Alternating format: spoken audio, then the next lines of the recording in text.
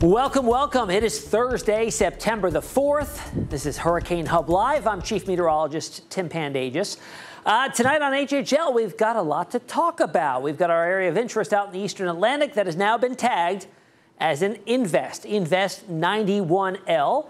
And could there be a hurricane threat for Hawaii? Yeah, it's possible. It's not unheard of, but it's quite rare. And it may be happening within about five to six days from now. And 91L is set to become Gabrielle, next name storm on our list, sixth name of the season. Um, likely to threaten land. Uh, not the U.S., too far out to say that, but the uh, Leeward Islands uh, could possibly be dealing with a high end tropical storm or hurricane in about seven days' time. So that could change but that would be the area most likely to see any impacts from Gabrielle once it does form. All right, here we are on September the 4th, uh, just less than a week out from the peak of the hurricane season on the 10th. We normally see more activity this time of the year, and honestly, it's not all that active in the Atlantic Basin. It's just this one area of interest where oh, now Invest 91L, and a quick refresher on Invest, what this means. We can decode it. Invest is short just for investigative area. Uh, the number is just a record number. It rotates from 90 to 99 and then cycles back. So we've gone 90 to 99 already. So now we're back to 91. And the L is a basin indicator telling us it's in the Atlantic basin. If there had be an E at the end of it, it would be in the Eastern Pacific or a C, it'd be in the Central Pacific. All right, so we are right here now in our tropical vocabulary pyramid. Possibly, if it was to become, just not have its act together completely, it would get a PTC designation, potential tropical cyclone.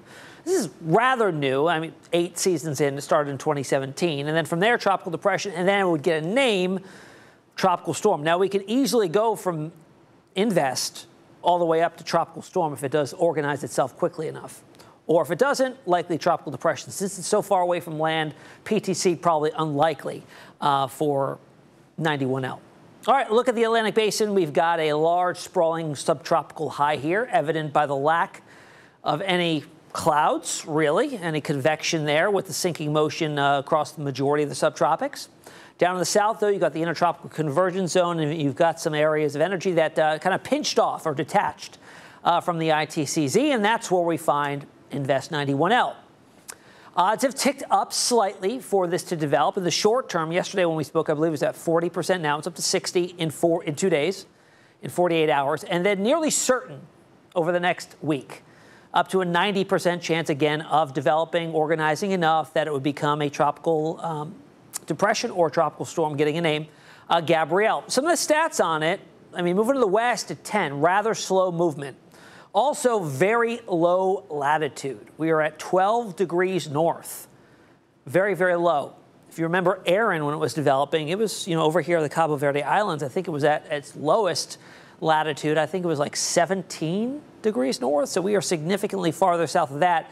That also brings to light that it's not going to be moving in the wake of Erin. Even though Erin was what, a week or a week and a half ago, it still did leave a sea surface scar that we've talked about in these videos. It did extract energy from the ocean and mix it up enough that it's cooled down the ocean surface in its path.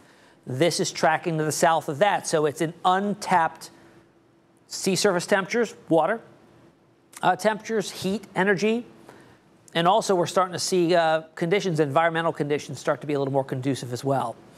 A look on infrared imagery here, uh, a little close up on 91L. There's the Cabo Verde Islands, well to the uh, west of that now. And you're starting to see some weak spin, some weak uh, rotation there within the overall uh, cluster of thunderstorm activity. A lot of dry air, though, parked off to the north and west of its center. Very stable air out here as well. And as this is trying to get itself going, it's going to be susceptible to ingesting some of that drier air and entraining it into its circulation. Now, once it does finally close off some circulation and start building to the west, models indicating this is going to be a very small storm. And typically, small storms, in particular, uh, small hurricanes, are very susceptible to changes uh, with the dry air entrainment there. They can also have big jumps or big decreases in uh, intensity. But let's not put the cart before the horse. This is still a it's an open wave right now that's been tagged as an investigative area. Let's see if this does pull up here. This is going to be satellite imagery uh, from today, visible satellite imagery. It looks like it's not going to work for us today, but it was starting to show a little bit more of a spin out there. Now, the big deal that it's now tagged as an invest is we're starting to get model data, data on this. We'll get the uh, hurricane model plots as well as the GFS and global members starting to get some runs on this to see where it may go. So these are the first suite of models. Hurricane models we'll start with first. And there's a, uh, a lot of agreement early on. Good consensus. We've got convergence of all the hurricane models pretty much. There are some divergence here as you get a couple days out, but predominantly all showing a westerly track here. Again, very slow moving at 10 miles per hour. It's going to take a while to just cover this part of the Atlantic basin here, and we took this out seven days. So a week from now, it may be threatening the Leeward Islands. Lot can change. There's not even anything written in stone that it's going to absolutely develop here. There is some inconsistencies with the global models. The GFS as a bona fide major hurricane, and the European strengthens it to maybe a high-end tropical storm or hurricane here up to the Leeward Islands and then hits the Caribbean and just falls apart, gets sheared apart. Which is right. Too early to tell. GFS has been pretty consistent on a robust storm. Europeans been trying to hop on board here, but we don't really have consistency in the model run. So a lot of time to watch this here, but here's the first suite. Take with this with this what you will. Um, this will change certainly, but most likely it's taking a westerly track and could be a threat in a week to the northern Leeward Islands. Its intensity at that point still yet to be determined. Let's look at also the other computer models here. This is going to be the GFS ensemble. In fact, all the ensemble members that are currently available with the Canadian, GFS, and European. Every line here, as you're going to see, is, is one different run of one of those models, an ensemble member. And you can see when we throw that on, we've got a lot more spread. Okay, some of these, which are just unrealistic, diving off to the south and west here, headed towards the equator. Don't think that's going to happen. The majority, though, are clustered along what we saw with the hurricane models, just off to the west. A few outliers here indicating a stronger storm lifting earlier to the north. Because once again, like we saw with Erin, there is the forecasted potential here of the subtropical high breaking down a trough developing, and that would provide a weakness for the storm if it's stronger to sense that weakness and lift north. So we have a couple ensemble members that are indicating that, but again, the vast majority here do hone in on the Leeward Islands being a potential target for what will become Gabrielle. Now let's look again at the um, uh, global models, the GFS and the European here. You're going to see the American pop up here in yellow, uh, European you'll notice doesn't really show much. We got to jump out several days from now to show really ending development. I'm stopping here next Tuesday, the 9th, so we're five days out. Look at how low latitude these are, both in line. G European barely a, a, system at this point. GFS getting its act together here. Here's the uh, 10 degrees north, and we're like at 12. So we don't really gain any latitude in the next five days. It pretty much heads on a due west trajectory. GFS stronger, European very, very weak. May not even be a depression at this point in time. Let's jump out a little farther. European drops off. Again, hits the Caribbean, whatever's there is weak and gets sheared apart. GFS says, hold on a second. Stronger storm at this point hones in on the central Leeward and northern Windward Islands, Windward Islands, as a hurricane. Will this exactly happen? No, it's going to change. It will alternate or shift uh, by the model run, but certainly uh, needs to be watched. We go out from there, heads over potentially Puerto Rico. Again, GFS one model run. This is going to change. It's not set in stone. And this is uh, nine days out. A lot can change and will change. And then the GFS, notice it's alone on this. No model agreement here between the GFS and the uh, European. GFS, bona fide major hurricane likely at this point, uh, just to the northeast of Trinidad and Tobago, or excuse me, Turks and Caicos, uh, and just north of Dominican Republic here. And this goes out to 10 days. So that's where we'll stop it. And that's really where the models end, actually. Um, where it goes from there, way, way, way, way, way too early to tell. Even 10 days out is too early to tell. Now let's look at both models independently. Uh, the European model here on relative vorticity, this is seeking out in the models uh, spin, cyclonic spin uh, in the atmosphere here. So you'll see what I mean here when we start to see these storms kind of pinch on off. Uh, it lags a little bit here, but it'll pop up. And this is the European model showing uh, a storm system here uh, just due east of, looks to be, you know, you're right near Barbados, actually. By the time we get to six days out from now, middle of next week. Uh, and then from there, it falls apart. You can see it getting completely sheared and almost completely disappearing as we jump out to uh, 10 days from now. European just has dispersed its energy, its vorticity across the entire Caribbean and Southwest Atlantic. GFS, on the other hand, a little bit different here. You can see it kind of getting its act together, and it's a, a pretty bona fide storm by the time it approaches uh, the Leeward Islands here by six days out from now, middle of next week. We've got a storm system there, and again, tracks similarly to what we just saw on the comparison models there. Uh, takes it into the north, uh, west, northeastern portions of the Caribbean, and then tracks off to the north and west from there, and emerges just to the east of the Bahamas and Turks and Caicos as a higher end uh, hurricane most likely at that point. Similar area to where Erin was just about 10 days ago. Now, I want to stress with everything we've talked about and all the different model renditions at this point in time are most certainly going to change. And there's just a lot of time for that to happen because it's just so far away from it being potentially a threat to the United States. We're talking 11 days out, maybe 12, with it moving so slowly. It's only moving at 10 miles per hour, so it's got to cover a lot of areas, and a lot can change and vary over that amount of time. Will the subtropical high break down sooner, later? Maybe not at all. If it doesn't break down at all, it's on a westward track, could go right into the Caribbean.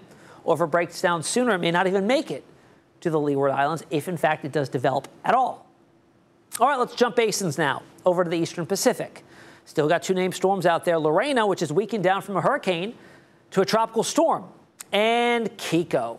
This is going to be the one that may threaten Hawaii still Cat 4 at this hour. We'll start with the one closer uh, to land. This one is a Lorena tropical storm down from a Cat 1 hurricane just a little while ago, and it is on a period of rapid weakening. 25 mile per hour winds by Saturday. Right now it's sitting at 50 down to 35 mile per hour winds by tomorrow afternoon. Originally, it was forecast to make landfall in the Baja California. That has now changed. We still, however, going to have a big moisture envelope here, so lots of tropical downpours and rainfall still with this, so the threat is not completely gone. But the wind threat, the wind factor, and the intensity of the storm has diminished. Good news. Let's get over to Kiko now. 130 mile per hour, low end, Cat 4, but it is expected to become 145 mile per hour category 4, so strengthening is still expected. And then the five day cone does stretch out far enough to encompass the Big Island of Hawaii. And at this point, it is weakening. Tropical storm at this point, 60 mile per hour winds, and this is Tuesday next week, so five days out. Could be a threat here with some gusty winds, of course, big surf, and the heavy rainfall. Now, it's not unheard of to have tropical threats out in the Hawaiian Islands, but it doesn't happen all the time.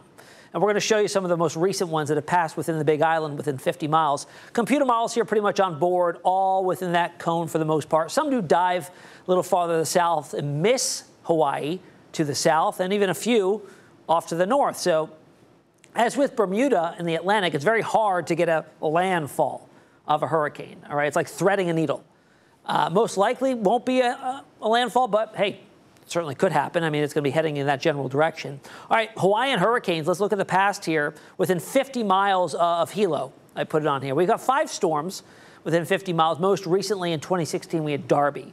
And there have been landfalls on Hawaii. I just don't have that map for you today. All right, the Eastern Pacific names, we're up to Lorena now, so they've had a very, very active season. I think we were up to, uh, Lorena was the seventh hurricane uh, so far this season compared to in the Atlantic. We just had one albeit it was a Cat 5, but just one. Uh, up next in the uh, Eastern Pacific will be Mario and Narda. So, all right, folks, coming up uh, after a quick break, uh, we're going to have hurricane trivia for you. We'll see you in just a few minutes.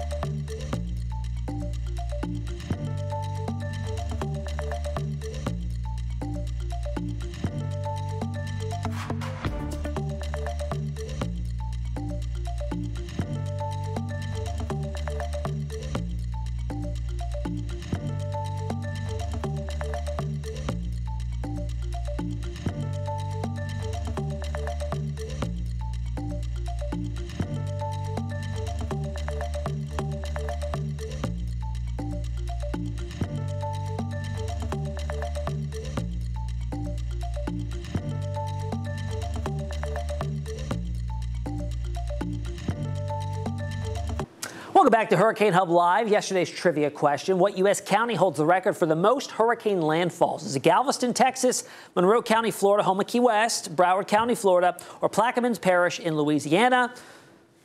B. Monroe County, Florida, number one spot. Let's go through the top five, though, if you were wondering. We got to head up to North Carolina. They hold the five spots.